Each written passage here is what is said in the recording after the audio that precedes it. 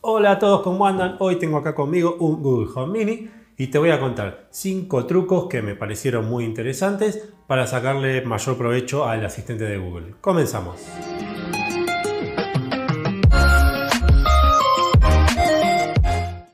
Bueno, acá estamos. Este es el primer tip que te voy a dar. Desactivé el micrófono temporalmente porque si no, no me iba a dejar eh, comentarte lo que te quiero decir. Y es que finalmente para todo el mundo se activó el comando Hey Google. Antes solamente podíamos activarlo con el comando OK Google. Ahora podemos decir Hey Google sin inconveniente y se va a activar. Este, bueno, ahora sí, activo el micrófono. Se volvió a activar el micrófono. Perfecto. Bueno, ahora lo voy a activar con el comando antiguo que era OK Google. Cancelar. Perfecto. Eso es como lo activamos siempre. Ahora vamos a poder decir Hey Google, que se activa lo mismo. Cancelar. Este, también puedo decir Hey Google, cancelar. Como ven, entiende toda la manera. Google, Google solo no funciona. Che Google, tampoco funciona. Así que ven, podemos decir tanto OK como Hey. Cualquiera de las dos maneras se va a activar el asistente. Bueno, el segundo tip que me pareció muy interesante es el de si tenemos el asistente en la mesita de la pieza, por ejemplo, podemos usarlo como un despertador. Eh, bastante fácil de configurar. Por ejemplo, podemos decirle, ok Google, pon una alarma para las 9 de la mañana. Ok, establecí tu alarma para las 9 de la mañana. Perfecto, ahora a las 9 de la mañana va a sonar. Ok Google, cancela la alarma. Muy bien, ya la borré. Listo, la podemos sacar. Si tenés un parlante Bluetooth, puedes utilizarlo para que la música, en vez de sonar por el Google Home, la información la envíe a ese parlante. Te lo voy a mostrar ahora. Acá tengo mi parlante Bluetooth JBL.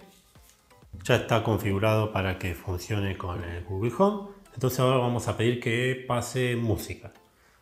Hey Google, pone música de rock. Muy bien, esta playlist de Spotify se llama Rock en Español. Ahora debería empezar a sonar acá en vez de en el parlantito. Acá está. Bueno, la sacamos rápido para que Google no censure el video por poner música con derecho de autor. Eh, bueno, puedes utilizar el altavoz para que toda la música que le pedimos a Google Home salga por acá.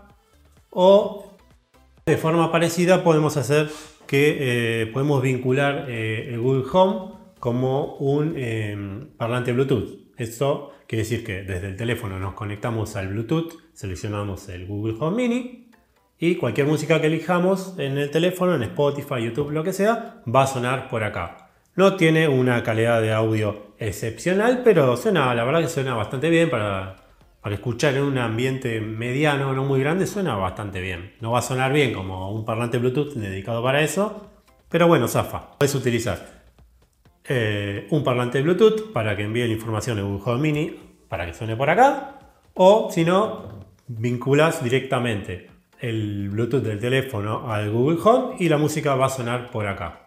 Bueno, este es otro truco que también es bastante útil cuando el, cuando el Google Home se pone a hablar y no querés decir cancelar, salir, ponerte a, abrir a, a hablar arriba del asistente.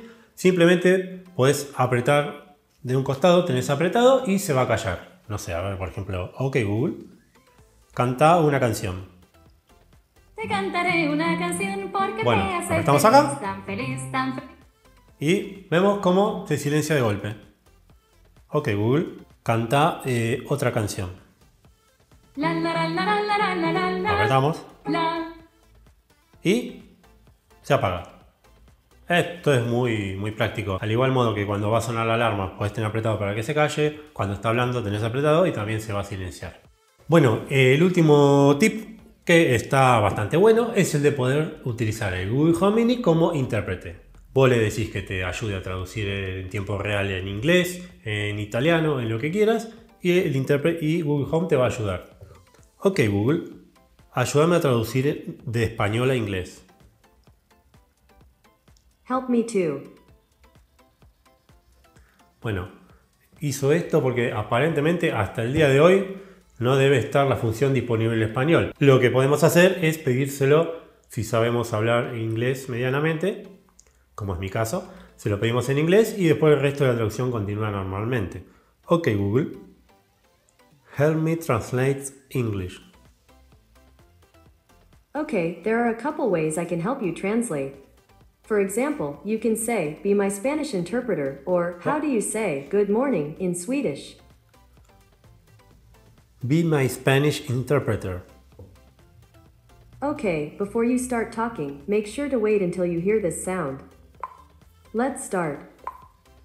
Hola, ¿cómo te va? Hello, how are you doing? Mi nombre es Cabra. My name is Goat. Ok Google.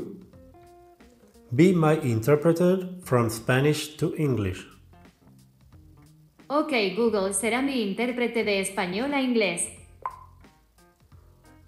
Ok, goodbye friends. Bueno, adiós amigos. Bueno, como vieron, funciona. Ok Google, sé mi intérprete de español a inglés. Gem Interpreter. Bueno, confirmo que en español no funciona. Bueno, eso es todo. Este, próximamente voy a tratar de subir más videos sobre el asistente de Google, sobre automatización domótica del hogar, relacionado también con el asistente de Google. Y bueno, no olvides suscribirte y nos estamos viendo en un próximo video. Ok Google, chau chau. Hablamos luego. Cuídate.